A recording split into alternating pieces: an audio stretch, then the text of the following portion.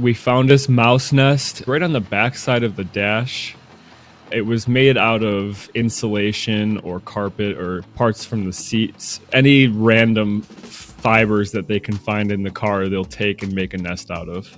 Cars attract mice because they know that it's a dark space, and when these cars sit in a barn and nobody's touching them for 30 plus, 40 plus years, they're not going to be bothered. So they're going to take advantage of that. And then after that, we were able to take the seats out and really get in there and clean everything.